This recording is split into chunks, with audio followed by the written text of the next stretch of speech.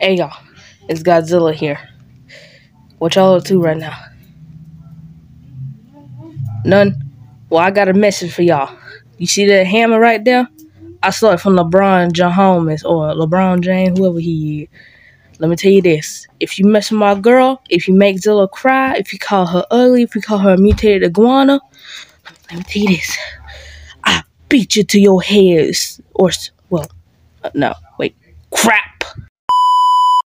Beat you to your skull crack until I see brains spill all on the floor. I'm not playing either. You think this some sort of sick joke? Well, you better keep one eye open tonight. You hear me? One eye open. Yeah. You think I'm playing about that? Let's let's see. Try me. Try me. Make my girl cry. Make her cry. Well, you don't need to, but if you even try, oh, you know what gonna happen. You know what gonna happen. So, so don't even try me, cause you already know. I can sense whenever my queen crying or whenever she feel off. So try me. Try me.